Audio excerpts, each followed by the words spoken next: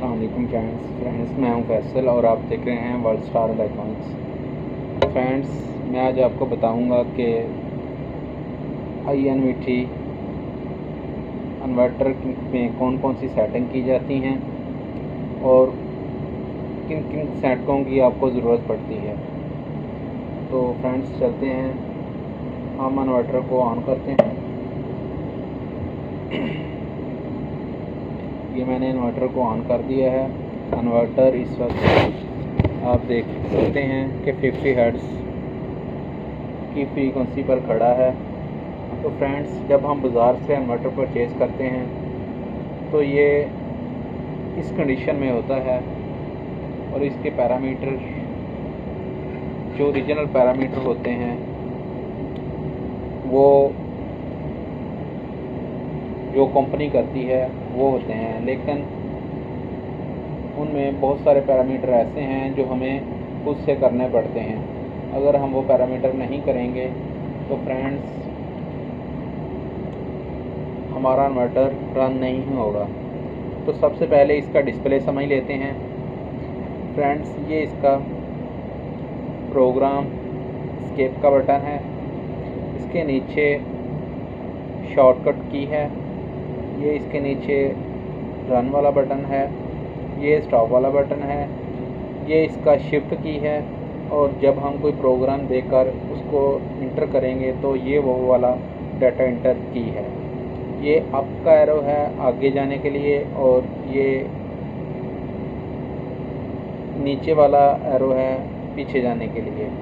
ये इसकी रंग रंग की इंडिकेशन है, ये इसकी फॉरवर्ड की इंडिकेशन है ये इसका लोकल रिमोट है, ये ट्रिप की इंडिकेशन है और ये हमारे एच जेड इसके बाद ये नीचे इसके आर पी एम इधर इसके वोल्ट शो होते हैं, जब हम शिफ्ट करेंगे तो ये एम्पेयर भी शो करेगा।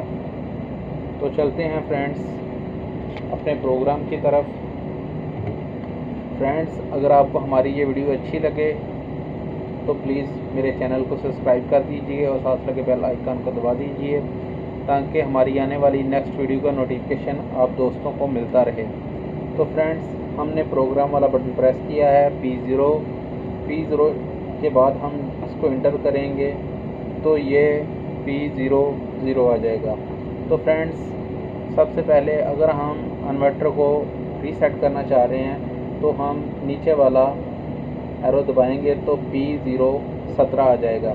जब हम इसको डाटा इंटर करेंगे तो ये ज़ीरो होगा। इसको वन कर दें। वन करने के बाद आपको डाटा इंटर करना होगा। ये एक दफ़ा बंद होगा डिस्प्ले फिर उसके बाद ऑन होगा। तो इस तरह हमारा इन्वर्टर जो है, ये रीसेट हो जाएगा। तो फ्रेंड्स इसके बाद पी ज़ीरो को हमने दोबारा खोला। पी ज़ीरो ज़ीरो इसके बाद ये बी ज़ीरो जो है, ये इस वक्त वी एफ़ कंट्रोल पे है। तो फ्रेंड्स हमने इसको एक कर देना है।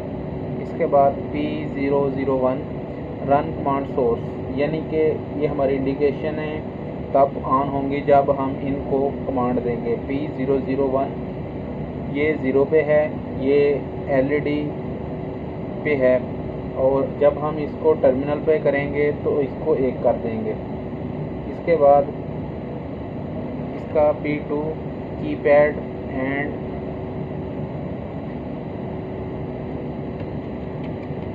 and terminal valid ये इसका प्रोग्राम है। अगर हम इसको एक पर करेंगे तो ये वैलिड होगा। दो पर करेंगे अनवैलिड होगा। हम इसको दो पर कर देते हैं। ठीक है। इसके बाद पी ज़ीरो थ्री ये फ्रेंड्स इसकी मैक्सिमम फ्रीक्वेंसी है कि हमने इन्वर्टर को किस फ्रीक्वेंसी पर रखकर ऑपरेट करवाना है। तो जितनी हमको रिक्वायर्ड होगी हम उतनी फ्रीक्वेंसी इसको रख कर इससे सेट करके इसको चला सकते हैं। इसके बाद पी ज़ीरो फोर है, ये इसकी अप की फ्रीक्वेंसी है, यानी कि सबसे अप मतलब मैक्सिमम फ्रीक्वेंसी इसके बाद पी ज़ीरो फाइव है। ये इसकी लोअर लिमिट फ्रीक्वेंसी है। इसका मतलब ये है कि हम इस फ्रीक्वेंसी को सेट कर देंगे। जब हमारा इन्वर्टर अनेबल होगा तो इसकी जो हमने लोअर फ्रीक्वेंसी लिमिट रखी होगी वो उस पर स्टिल हो जाएगा। इसके बाद ये इसका पी ज़ीरो सेवन है। पी ज़ीरो सेवन में फ्रीक्वेंसी कमांड सोर्स आपने इसको किस पे चलाना है? ये ज़ीरो पे की पैड पे है।